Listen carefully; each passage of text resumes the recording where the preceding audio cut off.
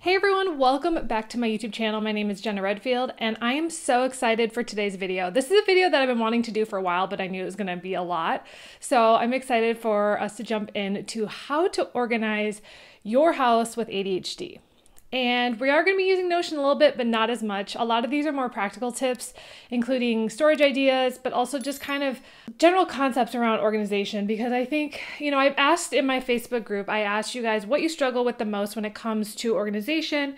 And the two main things that came up was motivation and consistency. And that makes sense from an ADHD perspective. So, the first thing I want to talk about is motivation. So, one of the things that I think is really interesting about ADHD is that we actually have different motivations than the regular world. I saw this tweet on Twitter and I saved it because I thought it was so good. It's by Jesse Anderson. He's actually a TikToker, so you might as well follow him on TikTok. He's really got some good ADHD videos. But he says neurotypicals are motivated by importance, rewards, and consequences. But ADHDers are motivated by interest, creativity and novelty, challenge, and urgency. Now, this really changed my perspective because it made so much sense to me. So I thought, well, why don't we apply that to organizing your house, right? Because if you're motivated, if if if you are told like, "Oh, you can't do this thing if you, you know, don't do it by a certain date," like that just doesn't motivate people. So look at these four things. First of all, interest. If you're not interested in cleaning, it's never ever going to happen. So really start to think about why you want to organize because if you're still like, eh, it's not a big deal, then it's never going to happen. So, somehow turning it into something that you're interested in doing is the first step. Creativity and novelty. I know this is a weird one, but like buying new things to organize with, that always encourages me. Um, for example, I bought a new uh, laundry basket and it made me want to do my laundry because I'm like, oh, I can use my new laundry basket. So it's like those kind of things can kind of encourage you, especially if they're cute and uh, also useful. Okay, challenge. Obviously, this is the one that we like to come up with things for ourselves that are challenging. So make it a challenge, make it something that's hard to do somehow and try to figure it out. And then finally, urgency. Uh, maybe you have to take some pictures of something and it has to be organized by a certain time. Make it up. What doesn't matter, make something urgent for yourself. So when it comes to motivation, those are my tips. Um, you know, really, it comes back down to what what you want, and uh, you have to motivate yourself to clean. I can't do that for you. Okay, so the second one that came up a lot was consistency. I think this is a thing that a lot of people struggle with is either putting it on their calendar or I think the bigger issue is not finishing what you start. So, I think one of the things I've, you know, learned about is, you know, just try to start a project and finish it without being interrupted. Turn off your phone. Um, one of the things I know that happens to me is um, by doing something, it triggers another thing that I was either supposed to do or something else, but write it down, be like, we'll do that after. So, really, just staying and finishing the thing that you start is really important and blocking out the time. I think that's the other thing that I struggle with is I don't ever have a set time for myself. So, one of the things I'm going to start doing is either daily or weekly, having a set time, put it on my Google Calendar, be like, for an hour today, I'm going to do my laundry or whatever it is. You know, to me, laundry is the worst. It's the thing that I struggle with the most. Another thing you could do is use timers. I mean, there are so many different timer apps out there, you know, just setting timers and boundaries for the things that you have to do. I don't know if you've ever like set a timer for 10 minutes and tried to clean up your room. Like you can get so much done in 10 minutes if you're just focused and not distracted. That's something I've definitely used before. So I saw this other TikTok. I wanted to share it in full here because I thought it was so helpful. And she talked about having landing places. And what's interesting about this is I was like, this makes so much sense to me because, you know, you need a place, you can't put it away right away, but you have at least a landing place or a tray for it to go on. And then eventually you put it away. So I'm going to show you guys that TikTok right here. Don't put it down, put it away is great in theory, but it doesn't really work for me as an ADHDer. So I'm going to share with you what does. I like to have little landing spaces. So as you can see, this little tray is my landing space for all my jewelry. And I essentially just throw my jewelry off there because I'm usually taking it off before I get in the bath at night. And I'll take some time, like once a week or once every couple weeks, whenever. I don't know. I'm not really like specific about it. And then I'll put everything away. Having little landing places for things has helped me a lot because honestly, I'm not going to do this every single day where I pick up the specific item and put it right exactly where it belongs. I don't know, that just doesn't work for me. I'd rather, you know, throw it somewhere and then all at one time put everything away where it belongs. Also, for some reason, it's much more satisfying for me. So I've created little systems like this all throughout my house without even really realizing these little landing places for things that I can just throw them and then whenever I have the time and energy, I can put them all away. Gotta tackle this area next. What are your favorite ADHD organization hacks?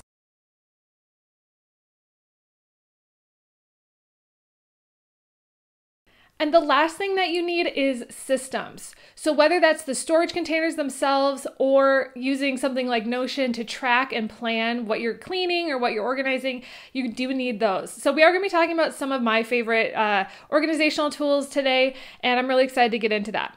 But before we do, I wanted to mention three different methodologies that I've learned about home organization, mostly from television.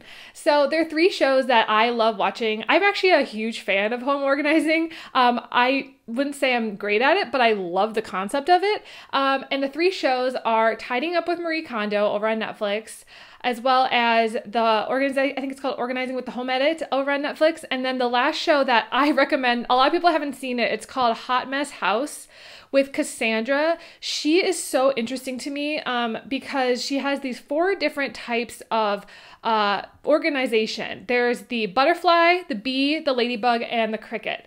Um, I'll show you guys the graphic right here, but basically there's a quiz you can take on our website and I'll link it below. But basically there's four different types of people. Some like to actually see their stuff, right? And have it be contained. Some of them don't like to see it at all. I would say if you have ADHD, you don't want to hide everything away. Even if that's your, you know, main thing is you don't like to see the clutter. I always say, you know, make sure that you at least know it exists or put it on your Notion board, um, like I do with my products page. So go through that quiz, see which one you are. Um, I forget which one I am, but I definitely like to see um, with clear containers what I own. Um, and so that one's very interesting to me. So those three different people have very different methodologies. Uh, Marie Kondo is all about sparking joy and, and really getting rid of things um, and then finding a system for them. With the home edit, they're more about just containing and figuring out, um, you know, what containers can be used as well as labeling. And Cassandra is again more about finding your specific uh, layout that you work best with. So I recommend those three shows if you're like looking for something to do. Um, I, I've seen every episode of all of them and they are so inspirational. I've actually found some products from some of them, so that's been really helpful. Okay, so we're gonna be talking about six different things today. We're gonna be talking about uh, the first one is object permanence. Now, this is something that's really interesting is a lot of the times a lot of ADHDers forget that they own things. I've seen this mentioned a bunch of times. So again, I've talked about this before on my channel, um, but clear containers are so important. And I'm gonna walk you through a few of my favorites and where to buy them.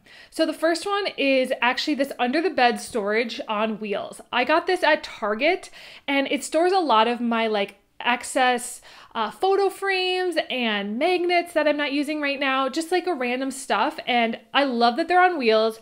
They're super easy and they're clear. I know exactly what's in them. They're super light and I love them. So I have two of them. I might be getting a third. You could probably fit about four under your bed. Depends on how big your bed is. Like you could probably fit even more than that. Um, but they're super helpful because they're not in the way. You could also even store like out of season clothing. Another one of my favorites is this, which is sitting in front of me. So this is from Amazon and I store all of my like hard drives and computer stuff and you can see it's a little bit bright. Um, let me turn this down. So you can see that I labeled it computer. Now, this is actually the next thing that I'm talking about, which is labels, but I just wanted to mention this. This is about $15 on Amazon. I have two of these. I also store other iPhone things in that. The other things that I've mentioned before is these drawers from the container store. I love them because they're clear and you just pull them out. I have a couple under my uh, sink as well as a few other places. Some other of my favorite storage, these are from the container store and you can see I also labeled this, it says hair, I've got some hair stuff in it. Um, they have white and then they also have clear buckets. I really like these because they're easy to know exactly what's in them, but they're still contained. Again, clear storage for the win always. I think it's really helpful for you to see. I also have some really large things that I have extra storage containers with that are clear, and I just really like clear containers for storage. So when it comes to labels, uh, the home edit actually has some really cool labels at the container store, but I actually designed these myself using the Cricut machine. Now, if you do not have a Cricut machine and you're not planning on using it, don't buy it. It's more stuff to just have in your house. Since I already had a Cricut machine, I was able to create this label, put it on black vinyl as a sticker, and I think I used the playlist script font um, to make these labels, and I can customize them however I want. So that was pretty cool process being able to make labels for different things that I have. I also have like a little label maker. This one's like $25 at Target. Labels, you can get a bunch of them. And so I have labeled a lot of things in the past, including I have a ton of these binders and they have labels on the side. This one says food. Um, but I have a lot of those for business. I'm trying to get away from having a lot of paper in my life, uh, but I do still have quite a few in like white three ring binders. I have like a ton of them. Okay, so number three, the thing I really want to talk about is laundry. Um, when you go through Marie Kondo's book, the first thing that she wants you to organize is clothing. And so one of the things that I found is really helpful is I have gotten the folding thing. I saw this on the Big Bang Theory. Sheldon was using it. It you can fold anything from your t-shirts to your pants. Now I won't I don't do this every time I do the laundry, but if my clothes are starting to overwhelm my drawers, I tend to you, pull this out and do it for 20 minutes and, and fold a bunch of my clothes. Uh, I'm not great at doing the Marie Kondo method, so this is just easier to just do that. This thing costs like $10 on Amazon. In addition to that, I mentioned this Walmart carrier. Let me go grab it. So one of my issues with my laundry was the container that I was carrying was so awkward and heavy. Um, I bought this. It is like a spring-loaded laundry basket. This was literally $3 at Walmart. I saw it on TikTok and I went, I have to have that. It can, you know, fold up so it doesn't take up any space. And for me, having to carry laundry up the stairs was a lot of work and it made me never want to do my laundry. So making sure that you have products that help you is really important. Okay, so the fourth thing to talk about is do you have a system, um, whether that's a chore chart or something that allows you to actually organize yourself? I use Notion, having some sort of uh, list of chores, dates that it's going to happen. Um, sometimes it doesn't always work out. Obviously, you know, I have to be very much uh, knowing what's going to work and what's not going to work. But, you know, just listing all the things that you need to do on a regular basis. Um, you know, whether that's going through your papers or whatever you're doing, there's so many different things that you can do. And I just think having some sort of system, I have my daily life tracker um, template for Notion below, but there's also some other ones I'll also link that have to do more with like home organization. My products one is really good. I have taken a photo of everything I own so that I know exactly where it is um, and what I own so I can visually see it on the computer. Number five, this is a big one uh, for ADHDers is can you get rid of things that you can digitize? And this is really true for me. Um, for example, I still have all of my papers from high school, middle school, college. I literally have all that in these huge file folders, and I need to go through them and be like, what do I actually want to save? A lot of these are like notes from science class. Can I scan them and put them in the computer and just throw them away. I mean, I've gone through it, I think, three times already, and every time I pare it down more and more, but I still have a ton of them left. So, um, another thing that I struggle with is I keep a lot of my childhood toys. So, I, like, I want to give it to my children eventually one day, but right now they're taking up a lot of space. So it's like, should I take a photo of it so I remember it? I actually have an entire Pinterest board as well as a Notion board of just my favorite childhood toys because I'm so nostalgic for my childhood um, that I'm like, should I just have the photo and, and remember it that way or do I actually need to keep the toys? I don't know. That's just something I need to go through.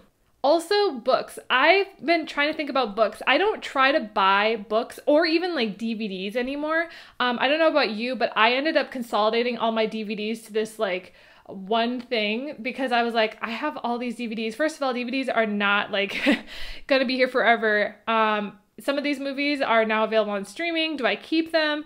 Uh, some of the movies are not available on streaming. Do I keep them? You know, paring down to, you know, sh- if, if I love a book enough, should I just buy it on Kindle so that I still have it, but I don't have it physically? You know, so start to think can you digitize some of these things? Uh, children's art projects, can you take a picture of it and then scan into your phone so you remember it? Like, do you need it physically or do you need it digitally? So that's something to also think about. And number six, this was a question I got is what if I have a really small small space. I think the biggest thing is finding the right systems and tools for your space that are multi-purpose. So if you have something that can convert, maybe like a table or something, you can put it away. If there's something that you can store multiple things in, um, I think just looking, IKEA is my go-to for a lot of my uh, furniture. Almost everything in this office is from IKEA. My desk, this uh, thing, I love this thing back here. This is uh, uh, an amazing system and they have them in multiple sizes. I actually have one to store all my fitness equipment. Um, I like having the open concept. Um, you know, I've, I've learned what works and doesn't work with me when it comes to storage. You could do something like down here, I actually have a white thing with stuff that I don't need, you know, seen. But what I've learned is that I do work better with clear things. But if there's something that like that stuff in there is just like cables, don't really need to see that. Um, really figure out what works for you. Um, anyways, I hope that this video was helpful if you're trying to organize your life with ADHD. I'm not an expert, but I hope that some of these were helpful. I will leave all the links below to these products as well as make sure to sign up for my uh, 30 days of Notion that's happening in our Facebook group ADHD and Notion. Uh, that's happening through the month of February as well as make sure to sign up for our free resources, both ADHD and Notion. All that stuff will be in there as well. So hope you guys have a great day and talk to you soon. Bye.